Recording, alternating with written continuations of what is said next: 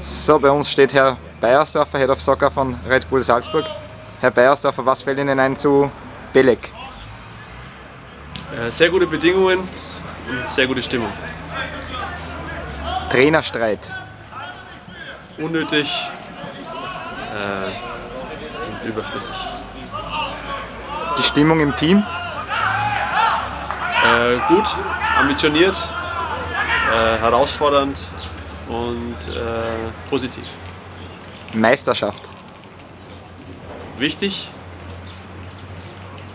machbar, ähm, Steigerung nötig.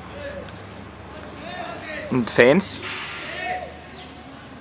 Äh, zurückzuholen, ähm, Identifikation und Unterstützung. Dankeschön.